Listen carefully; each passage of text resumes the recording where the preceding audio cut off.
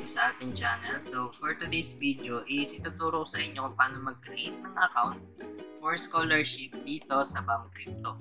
Pero bago ang lahat, i-like, share, and subscribe yung video natin para maging updated kayo sa mga future uploads natin. So, let's start. So, first, ang una yung gagawin guys is punta dito sa BAM Crypto. So, ilalagay ko na lang yung link dyan sa baba kung ano yung kung ano yung link na dapat yung puntahan kasi may mga baka may mga website kayo may puntahan na um, pwedeng makuha yung mga assets niyo. So dito na lang natin yan para sure na sure na sa Crypto kayo pupunta. So ayan yun, app.bamcrypto.io Then lalagay ko na lang din dyan sa description. Sa left o sa comment, ano na lang, comment section natin. And then, yun nga, first is pupunta kayo dito sa Connect Wallet. So, pagkatapos niyan, magka, ang gagawin niyo muna guys is pupunta kayo dito sa Connect muna.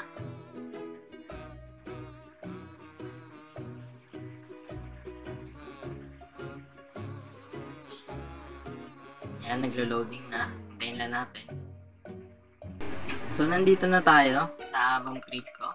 So, mapansin nyo, uh, may nakikita na natin yung investment, mine, ROID natin, and, yung, and then yung reward natin. Then po, kung gagawin nyo next is pupunta kayo dito. Yan. Sa may settings. So, meron ditong um, is SFX, music, language, and then ito mapapansin nyo na nagkaroon ng ganito. So, meaning dito tayo gagawa ng account. So, nakagawa na ako kanina dyan. So, ganyan yung ginawa ko. For example, yan. Gawa, tapos password na bla bla bla yan. Password. Tapos, i-accept lang yun. Once na na-accept nyo na, may lalabas na successful doon. Once na naging successful na yun, guys, is, um, ano nyo lang, refresh nyo lang ulit to. Yan. Once na nakagawa na kayo nun, tapos, ang next yung gagawin guys is kung kayo sa Connect Wallet. Tapos, lalagay nyo ulit yung um, username nyo. Yan. Lalagay nyo dyan din yung password. Yan. Once lalagay nyo na yun, dahil so maglo-loading siya.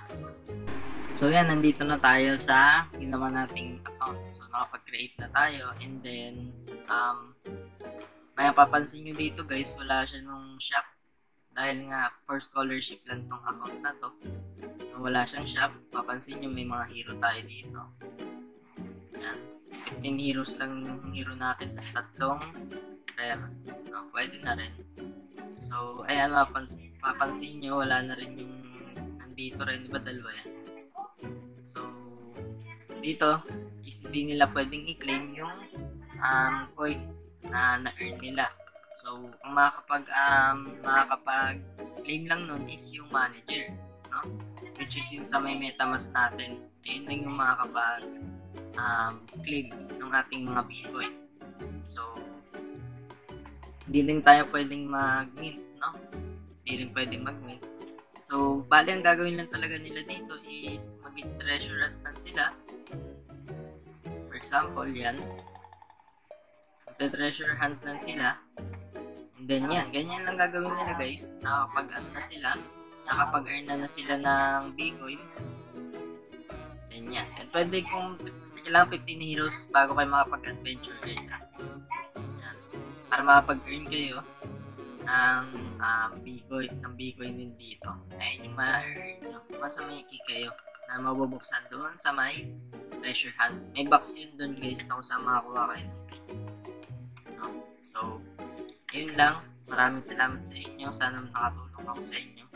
And maraming salamat sa inyo and God bless.